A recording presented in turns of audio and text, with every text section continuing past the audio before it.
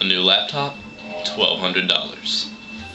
A new car, $10,000. The look on Wiley's face when he walks into the room and knows that he's screwed in the morning?